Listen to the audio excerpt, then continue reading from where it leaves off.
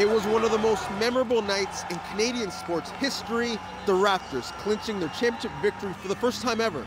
Team president Masai Ujiri tried to get onto the court to celebrate, but he was stopped by a U.S. law enforcement officer, leading to a physical altercation that was caught on video. In a CityNews exclusive, I speak with three black police officers right here at the Peel Police Headquarters about the allegation that racism played a factor in how things went down.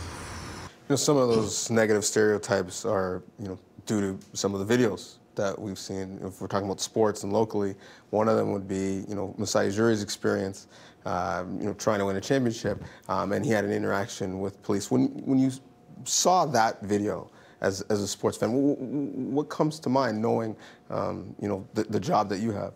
Yeah, when I actually saw that video, I looked at it as like two ways. I looked at it as like a police officer, and like cause sometimes I look at it as the background. It's like, okay, someone just won like a championship. You're supposed to protect the athletes that are on the court. So I, I, I understand like his the officer's point of view is like, you know, I got a job to do, but he probably should have, you know, took in and actually did more like talking and understand like who he was.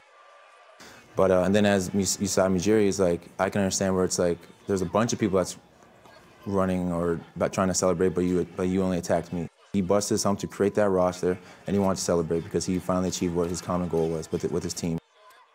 You know, Brandon makes a good point. You, it, it's part of the the burden of being a police officer and a black man at the same time in a world that that uh, you know, is difficult to navigate for black men um, and difficult to navigate for police officers.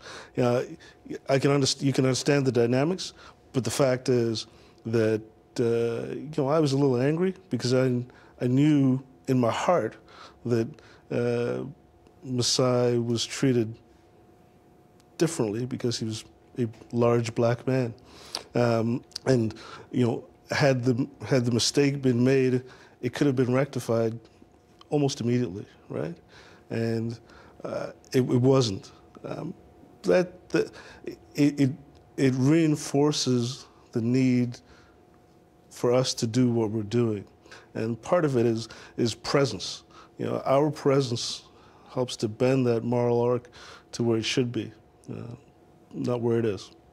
Tomorrow on CityNews, why these officers actually agree with the sentiment to defund the police.